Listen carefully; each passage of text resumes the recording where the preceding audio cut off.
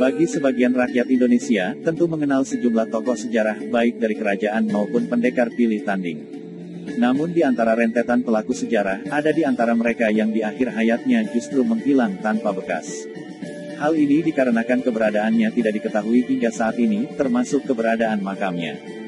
Mungkin tidak banyak orang yang mengenal istilah moksa, dengan kata lain, menghilang tanpa jejak. Jasadnya tidak ditemukan, apalagi makamnya. Moksa adalah sebuah konsep dari agama Hindu dan Buddha yang memiliki artian melepaskan dari segala ikatan duniawi, serta putaran reinkarnasi kehidupan fana. Istilah ini sudah dikenal sejak beratus-ratus tahun lamanya, atau sejak zaman kerajaan. Berbicara masalah moksa, ada beberapa tokoh terkenal di Indonesia yang menurut cerita, dan diyakini banyak orang mengalami moksa atau hilang tidak meninggalkan jejak. Lantas siapa sajakah mereka? Mari simak videonya sampai selesai. Yang pertama yaitu Prabu Siliwangi. Prabu Siliwangi adalah salah satu raja pajajaran yang cukup terkenal dan sakti mandraguna.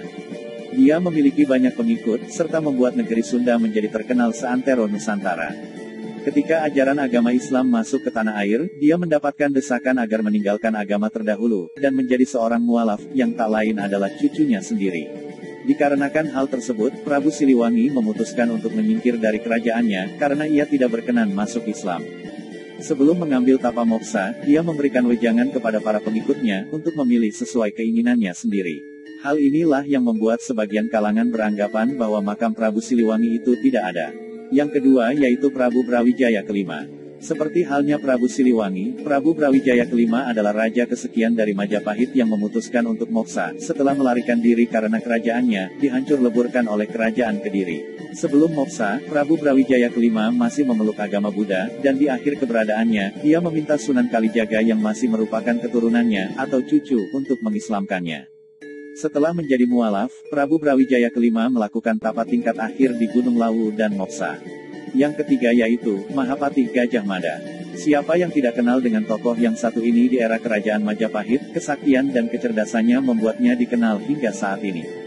Namun siapa sangka sosok sakti mandraguna ini tidak diketahui keberadaan makamnya, dan banyak dari sebagian orang percaya bahwa Pati Gajah Mada moksa. Namun ada banyak di kalangan terdapat dua versi yang dipercaya, mengenai masa akhir dari Mahapati Gajah Mada, yaitu pertama dia diceritakan mengalami sakit, dan pada akhirnya meninggal dunia pada tahun 1364. Hal ini seperti yang tertulis pada kitab Kakawin Nagara Kertagama. Versi kedua adalah, Mahapati Gajah Mada melarikan diri setelah terjadinya perang bubat. Yaitu perang antara kerajaan Pajajaran dari negeri Sunda dengan kerajaan Majapahit. Pati Gajah Mada dituding sebagai penyebab utama terjadinya perang.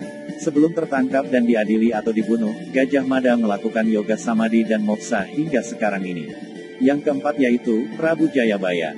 Prabu Jayabaya adalah raja kerajaan salah satu pewaris tahta Prabu Erlangga yang mendapatkan jatah wilayah di Jenggala Kediri. Saudaranya, Jayasaba, adalah pemilik jatah wilayah lainnya yang berpusat di Panjalu, yaitu Daha.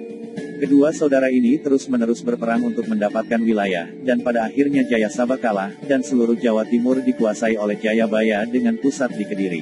Walaupun menjadi raja yang terkenal, dan berhasil membuat kerajaan yang diperintahnya memasuki zaman keemasan, namun rasa berdosa, dan bersalah karena telah membunuh saudaranya sendiri, Jayabasya, terus menghantui Jayabaya. Kesaktiannya dan keberhasilannya menjadi seorang pinilih menurut agama Hindu, membuatnya tidak pernah meninggal karena dia dapat melalui proses kematian normal dengan cara moksa. Dan akhirnya, Prabu Jayabaya menghilang tanpa jejak setelah melakukan tapa moksa di Desa Menang, Kabupaten Kediri. Dan yang kelima yaitu, Sabdo Palon Noyo Genggong. Menurut banyak pakar, Sabdo Palon Noyo Genggong merupakan nama lain dari Semar atau salah satu dari Punokawan. Walaupun banyak orang yang mengatakan bahwa Punokawan termasuk Semar di dalamnya adalah tokoh fiktif, namun tidak sedikit yang mempercayainya. Sabdo Palon, merupakan tokoh spiritual Prabu Brawijaya kelima yang kecewa akan keputusan rajanya untuk memeluk agama Islam. Dia memutuskan untuk pergi, dan menghilang secara moksa setelah Prabu Brawijaya kelima menjadi mualaf. Mungkin banyak orang yang tidak percaya akan kejadian moksa, seperti yang berlaku pada orang atau tokoh-tokoh terkenal di atas, namun secara turun-temurun, cerita menghilangnya orang-orang tersebut telah diyakini kebenarannya, dan terus dilestarikan sampai sekarang. Percaya atau tidak, tentu hanya Anda sendiri yang dapat menentukannya.